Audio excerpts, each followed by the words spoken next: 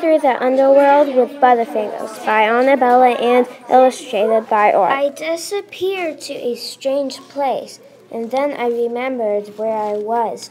Just then, an alligator came up to me and tried to eat me. Ah!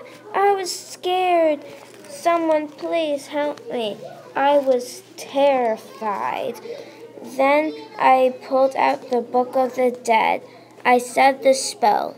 Hoodoo, voodoo.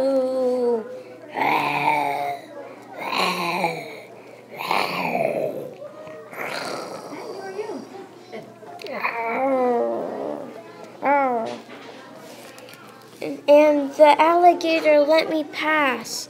It was a miracle. I was so happy I couldn't believe my eyes. I walked past the dragon when he let me pass, and I was going to the next door. And that is the end.